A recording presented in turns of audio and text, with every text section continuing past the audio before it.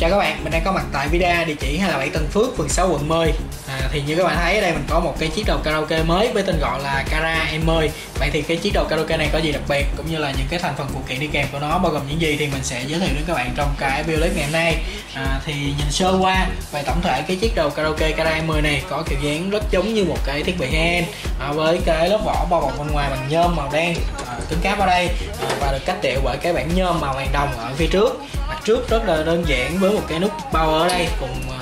một cái hệ thống đèn led để hiển thị tín hiệu hoạt động của cái ờ, chiếc đầu karaoke cũng như là cái con mắt để nhận tín hiệu điều khiển từ remote. Thì đây là cái chiếc đầu karaoke ờ, với bộ xử lý uh, quad 1.5 GHz hoạt động trên nền tảng Linux có khả năng hỗ trợ ổ cứng HDD đồng thời có cổng HDMI để xuất tín hiệu hình ảnh chất lượng HD Full HD 1080p đó thì uh, cái khả năng hỗ trợ ổ cứng của chiếc đầu karaoke KDM M này có thể lên đến ờ, uh, 6T giống như Iran Smart Car hay là giống như BTE karaoke. Đó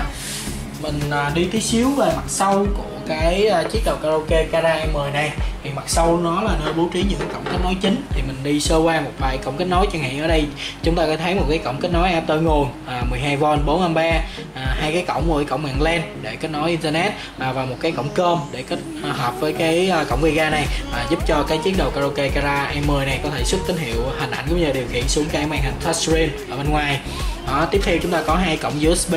à, những cái cụm cổng audio video à, một cái cổng optical để xuất tín hiệu âm thanh à, 5.1 à, những cái cổng cơm cũng như là line out ở đây. Đó. À, đồng thời trên chiếc đầu karaoke Kara này còn hỗ trợ thêm những cái cổng mic ở đây nữa. Đó rất là tiện dụng à, và đầy đủ những cái cổng kết nối thông dụng hiện nay. Đó. Mặt dưới của cái chiếc đầu karaoke Kara này là những cái khe tản nhiệt cũng như là những cái chân à,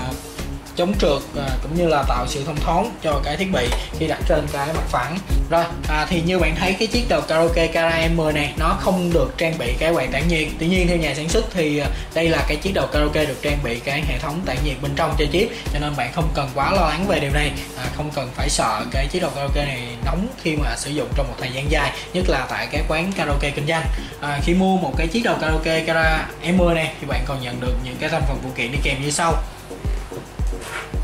một cái cổng cáp AV à, và một cái cổng cáp HDMI vô cùng chất lượng ở đây.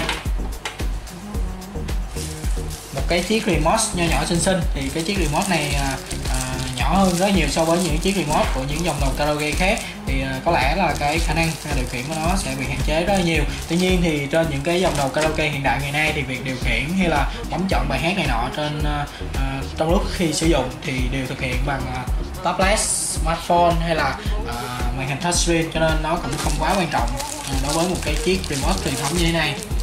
Ngoài ra thì chúng ta còn nhận được thêm một cái adapter nguồn. Đó đây là một cái phụ kiện hết sức là quan trọng bởi vì không có nó thì cái chiếc đầu karaoke này cũng không thể hoạt động được. Đó thì uh, cái chiếc đầu karaoke uh, Kara M10 này